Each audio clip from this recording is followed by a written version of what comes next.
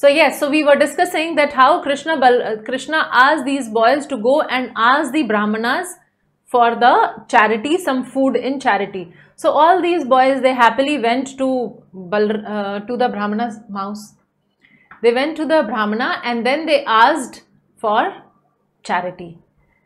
They said that Krishna Balram, they have come here, they are close by in the forest, they have come for tending uh, the cows and can we have some food for them because they are all, we are all very hungry.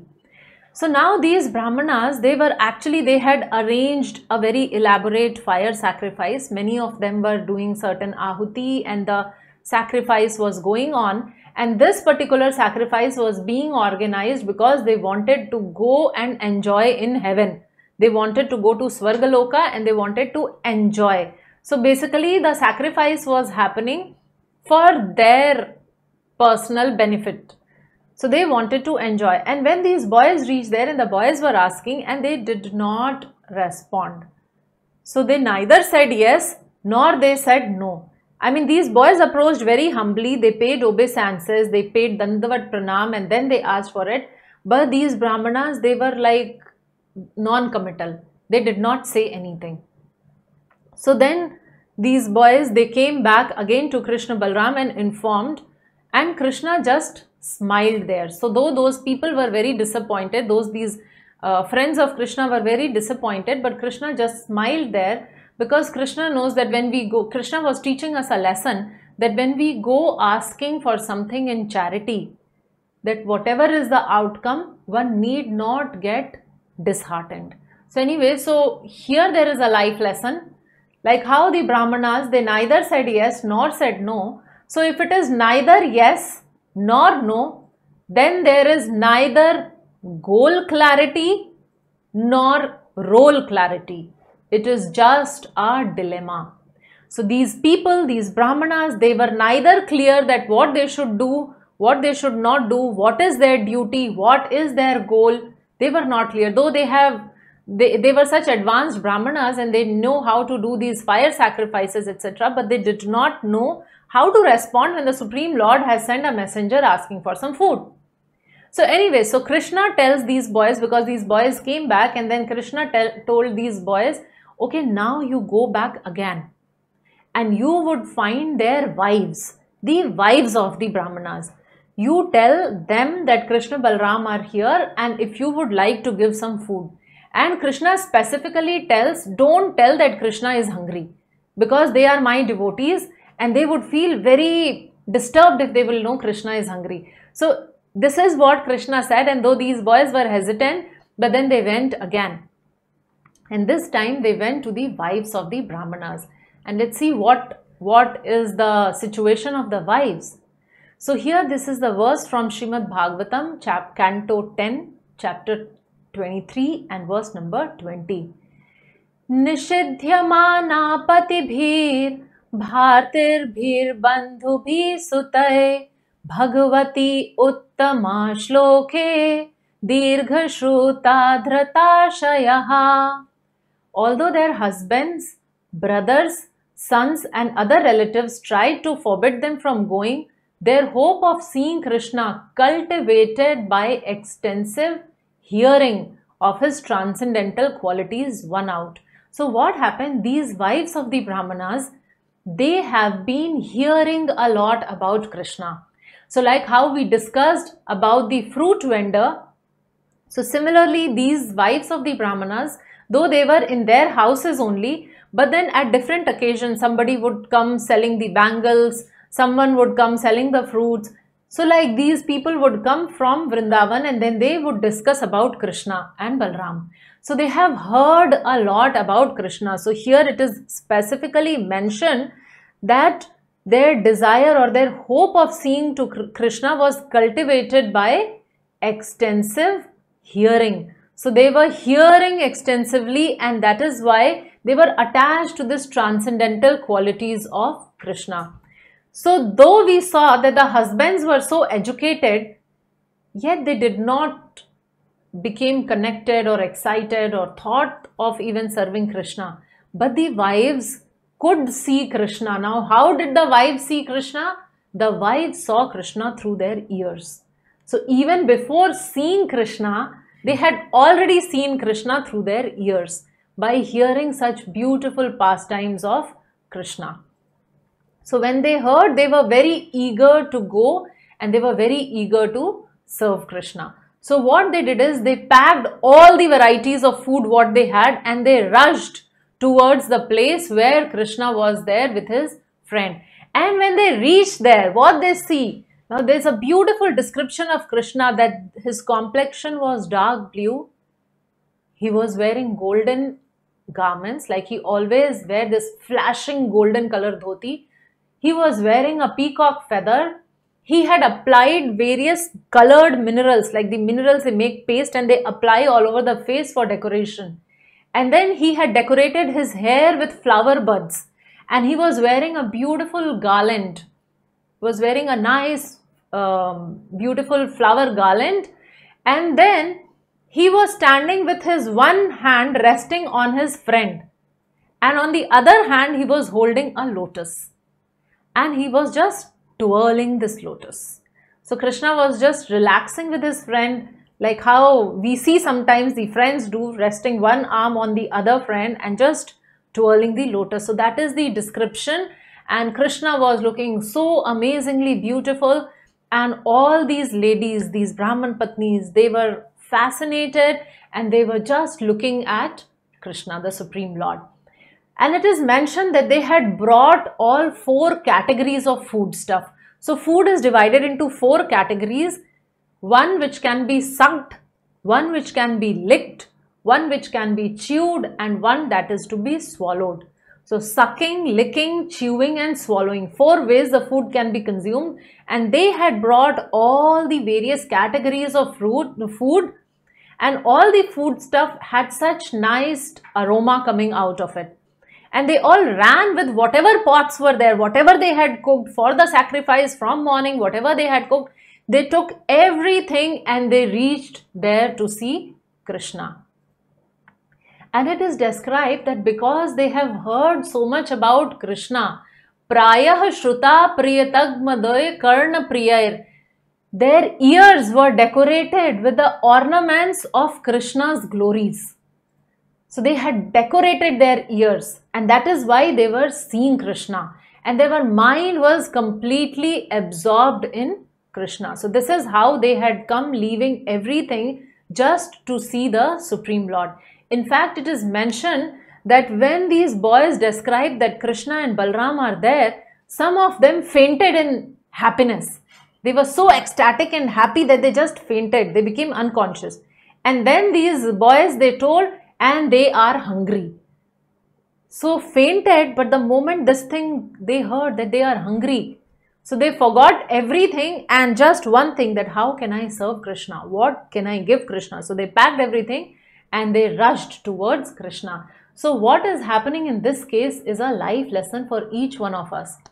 Hearing intensifies the absorption. So because they have heard so much about Krishna, they were intensely absorbed. And now what is happening to them can happen to any one of us is mentioned here. Imagine how beautiful it is to execute the process which is the goal also. So what is the goal of a devotee? To be absorbed in Krishna. What is the process? To absorb in Krishna. What is the goal of the devotee? To hear about Krishna. And what is the process? To hear about Krishna. So it is like on a journey which is the destination also. If I am going to some place and the journey itself is the destination.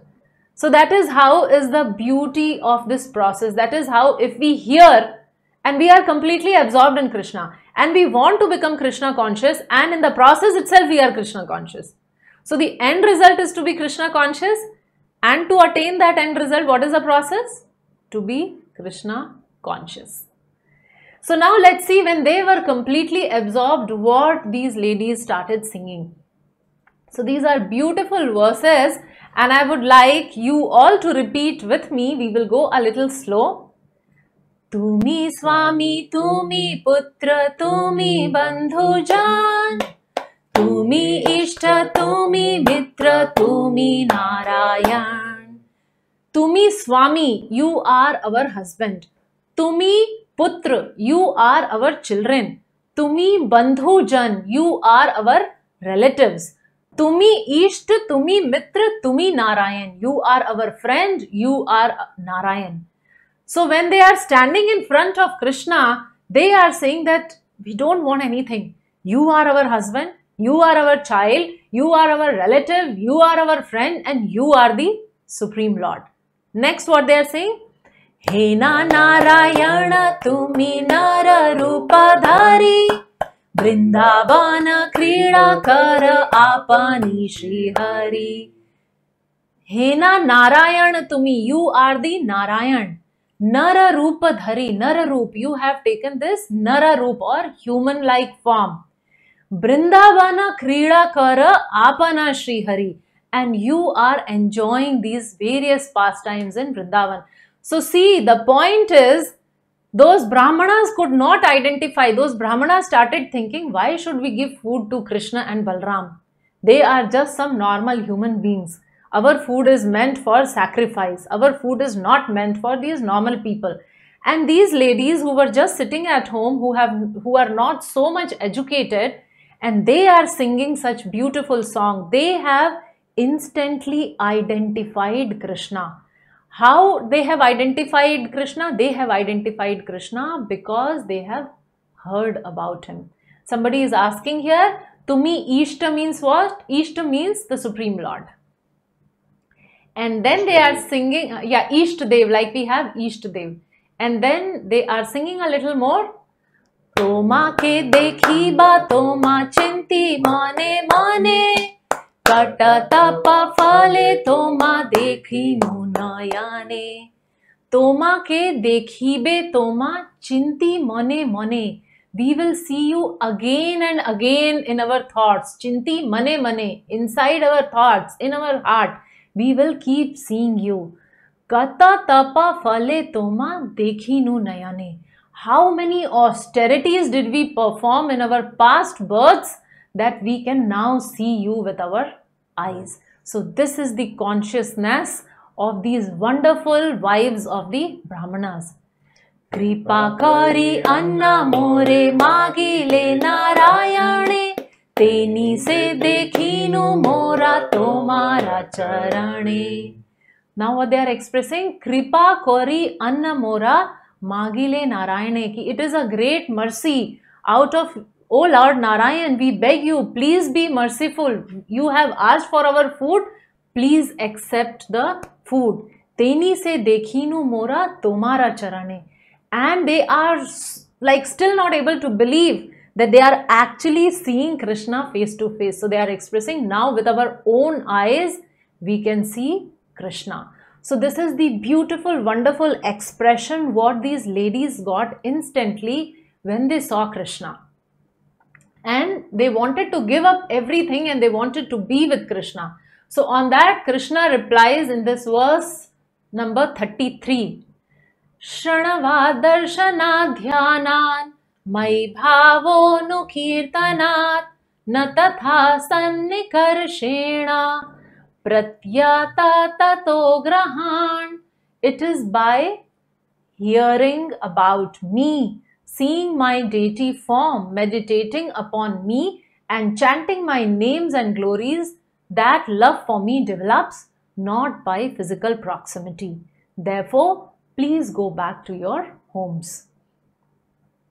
So this verse is uh, this verse is from Shrimad Bhagavatam and the song which we were singing is by composed by a wonderful poet, a devotee poet. So that is not from Shrimad Bhagavatam. This is Sanskrit that was in Bengali. The verse was composed in Bengali.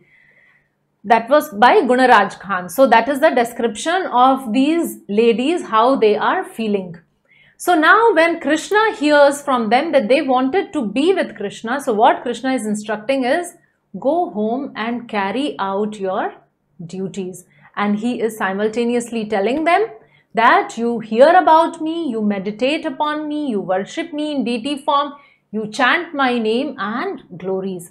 So here there is a beautiful life lesson that Krishna does not want us to leave our homes. See, after Gita made easy class, many uh, we got some phone calls where people actually wanted to come, leave their homes and join ISKCON. So Krishna does not really want us to leave our homes. What he wants is to serve him at our home while attending to all our responsibilities. So this is what Krishna wants us, like how he instructed these ladies to go back. And what happened is when these ladies came back, they returned back and husbands happily accepted. And then the husband started lamenting. And the husband started thinking that, oh, this wife of mine who has not got the Brahman samskaras have not happened. She has not gone through that Upanayanam ceremony. She has not lived as a brahmachari in the ashram of the Guru. She have not done austerities she has not even tried to understand what is Atma and what is Paramatma. Forget about all those things. She has not like followed very strictly the principles of cleanliness and rituals and yet she achieved the mercy or they achieved the mercy of the Supreme Lord.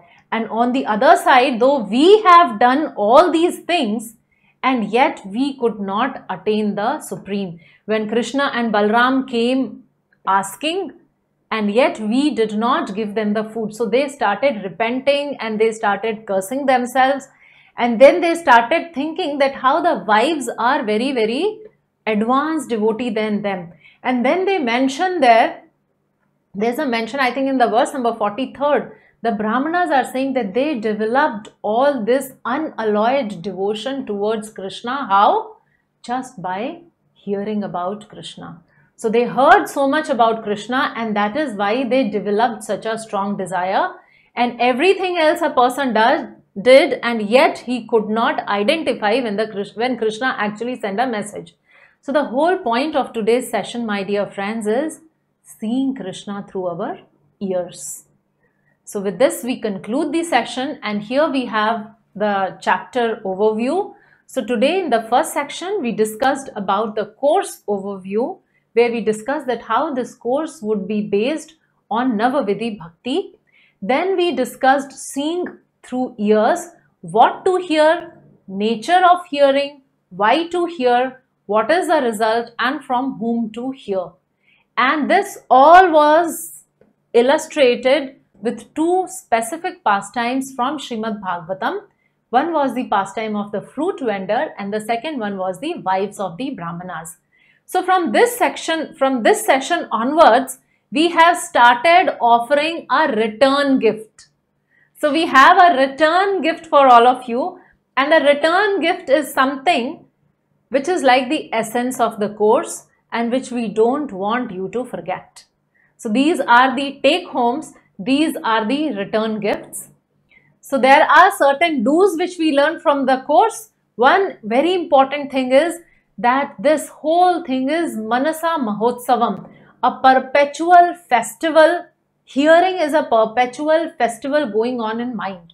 So when there is a festival at home, how everybody is in festive spirit and how we are not tensed or anxious about other things in the life, we are busy celebrating the festival.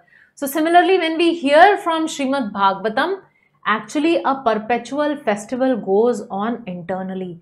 And that is how we can get rid of all the negativity and anxieties of life. So we if even if you remember even if you forget everything please remember these two things govinda damodar madhaveti govinda damodar madhaveti and tumi swami tumi putra tumi bandhujan Tumi Ishta, Tumi Mitra, Tumi Narayan. And we discussed the don'ts also. And what was that don't? Short form PNPC. so this PNPC is Parininda and Paricharcha. So when we are discussing, we discuss about Krishna. When we are discussing, we generally glorify and we don't talk the negative.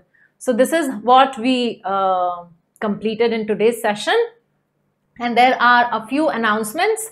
So one is that we have a question answer link which is posted in your description in the YouTube and in the Facebook description. The link is posted video description. in the video description and that link is for the question and answers. So any questions you can post it there.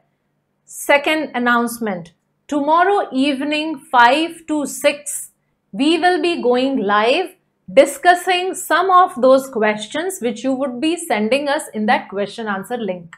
So now this program, how it is designed is one week we have the, uh, sorry, one day of a week we have the session and on Sunday evening 5 to 6 we will go live again and we will take up the most frequently repeated question in the question answer list. All the other questions we would be answering, you would be receiving the answers through your email IDs but tomorrow evening 5 to 6 we would go live for the question answers.